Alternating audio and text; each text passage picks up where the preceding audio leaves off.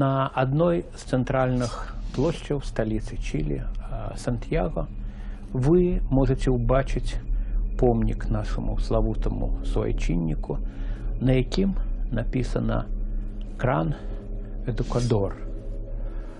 А што ў перакладзе з іспанскай азначае вялікі асветнік. Ягоным імем названы адзін з астэроідаў сонечнай сістэмы, адкрыты чылійскім астраномам, партовы горад чылійскай рэспублікі і адзін з яе універсітэтаў, а таксама вулканічны ланцуг гор у андах. За што ж такая пашана нашаму земляку далёкай паўднёва-амерыканскай краіне? Будучы нацыянальны герой Чылі, Ігнат Данейка нарадзіўся ў 1802 годзе на наваградчыне ў сям'і земскага суддзі. Пасля заканчэння піярскай школы юнак паступіў на фізіка-матэматычны факультэт Велінскага універсітэта. 14гадовы хлопец аказаўся адным з самых маладых студэнтаў. Аднак гэта ніякім чынам не перашкодзіла яму праз тры гады атрымаць ступень кандыдата філасофіі, а яшчэ праз 5 стаць магістрам філасофіі. Пад канспіратыўным імем жывота Ігнат Дамейка актыўна ўдзельнічаў у таварыстве філаматаў і нават загадываў філамацкай бібліятэкай. Пасля выкрыцця таемных арганізацыяў віленскага універсітэта юнак быў вымушаны пад наглядам паліцыі жыць у сямейным маёнтку без права выезду.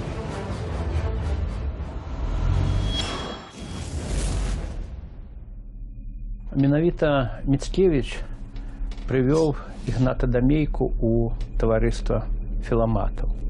Калі яны абодва былі студэнтамі віленскай альмаматар. Пасля разгрому таварыства жандармерыі, пасля зняволення філаматаў камеры Міцкевіча і дамейкі як самых небяспечных зняволеных кіраўнікоў філаматаў былі побач. Юнакі начамі падкуплялі вартаўнікоў, збіраліся разам і потым атмасферу тых начных гаворак маладых патрыётаў Адам Міцкевіч узновіць у сваіх неўміручых дзедах, дзе ігнат дамейка будзе выведзенай пад сваёй канспірацыйнай э, мянускай жыгота. А неўзабаве на землях былой рэчы паспаліты разгарэлася вызвольнае антырасейскае паўстанне. Магістр філасофіі былы філамат прыняў ім самы актыўны ўдзел.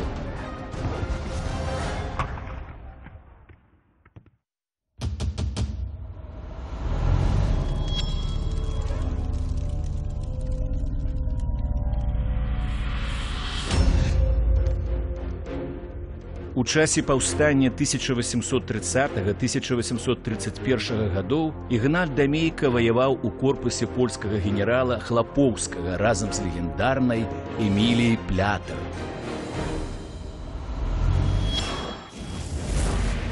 Недалёкая параза змагання прадвяшчала Ігнату Дамейку толькі адно эміграцыю. Саксонія, Русіі, Швейцарыі і нарэшце Францыі. У парыжы выгнаннік знайшоў для сябе новае захапленне геалогію. Цягам трох гадоў дамейка вучыўся ў знакамітай горнай школе ў парыжы і скончыў яе ў 1837 годзе, атрымаўшы дыплом горнага інжынера. Перад адукаваным 35гадовым мужчынам ляжала шмат дарог. Аднак нечакана прыйшла прапанова з іншага кантыненту яго запрашалі на працу ў чылі. І ён згадзіўся.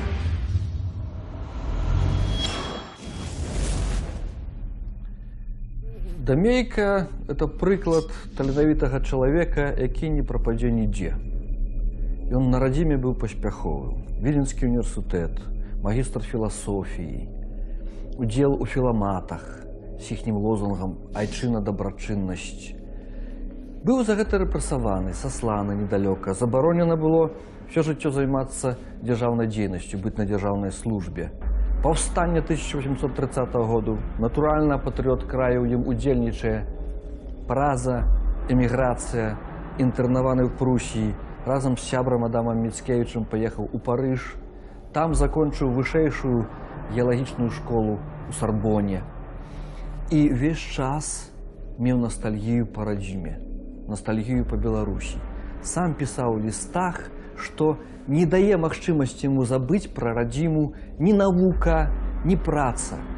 І ўрэшце скарыстаў радыкальны сродак для вылячэння нібыта ад этой хваробы, паехаў на край света 1838 годзе, падпісаў кантракт, паехаў у чылі працаваць і з галавой у работу акунуўся. Наступныя 8 гадоў ігнат дамейка з'яўляўся прафесарам чылійскай горнай школы ў горадзе Ла-Серена на поўдні краіны. Ён праводзіў геалагічныя ды мінералагічныя даследаванні, заснаваў фізічную лабараторыю, сабраў багатую залагічную калекцыю. Аднак не толькі прыродныя багацці цікавілі даследчыка, але і людзі, якія спрадвек жылі на гэтай зямлі. У 1846 годзе Ігнат Дамейка пераязджае ў сталіцу Сантьяга і становіцца прафесарам галоўнага універсітэта краіны.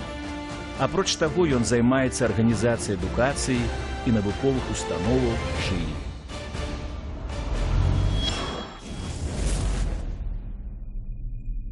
Ён ствараў школу геалогіі.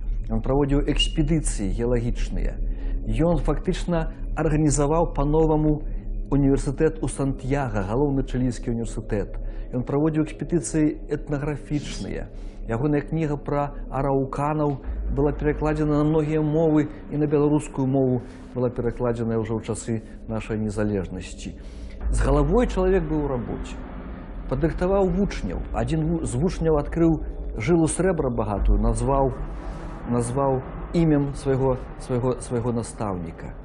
Але ўвесь час пастаянна маючы поспех от адчуваецца нават па яго некаторых лістах весь час ён думаў пра Беларусь.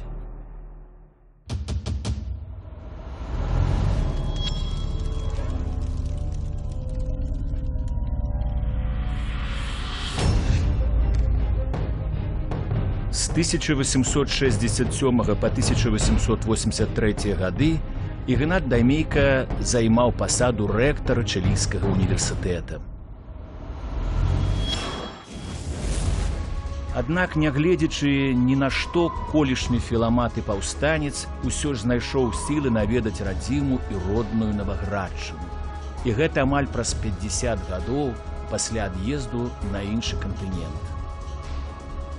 Вяртаючыся з Еўропы назад у Чылі, 86гадовы гнат дамейка цяжка захварэў і неўзабаве 23 студзеня 1889 года памёр.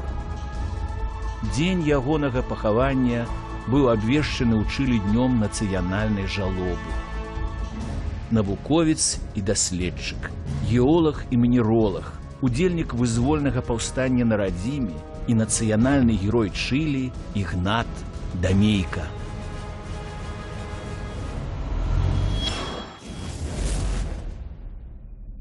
За пять гадоў да смерці яму дазволілі неахвотна дазволілі прыехаць на Беларусь. Чынілі розныя перашкоды. Нават у гародні на некалькі месяцаў затрымалі пашпарт яго расейцы, але ён прывёз дзяцей, паказаў радзіму, паказаў, паказаў Беларусь, вярнуўся, памёр, там, там учылі, і натуральна там пра яго не забыліся. Ёсць стыпендыя імя дамейка, есть горны хрыбет, есть горад нават названы імем, імем дамейкі. Я просто думаю, а ўсё гэта гэты наш зямляк мог зрабіць і для Беларусі. У 2002 годзе падчас урачыстасцяў, прысвечаных 200годдзю з дня нараджэння выдатнага вучонага У беларускім выдавестве кнігазбор выйшаў том яго мемуараў. Такім чынам ігнат дамейка як бы канчаткова вярнуўся у Беларусь у нашу гісторыю.